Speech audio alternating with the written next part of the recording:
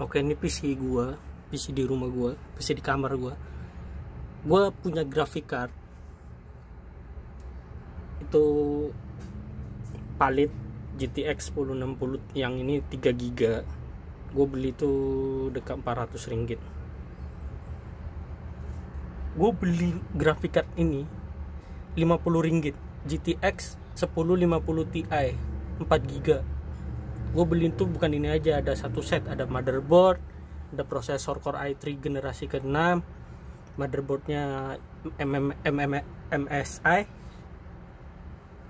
H110 Pro pas itu dapat GTX ini dengan power supply Thermaltake gue bertaruh nasib di sini proses uh, graphic cardnya 50-50 lah boleh hidup atau enggak sebab dia bilang no display kan dia nggak bisa ngecek gue beli 50 ringgit aja 170 ribu rupiah kalau dirupiahkan dan hasilnya hidup. Graphic cardnya boleh hidup dan gue ada ong. Terima kasih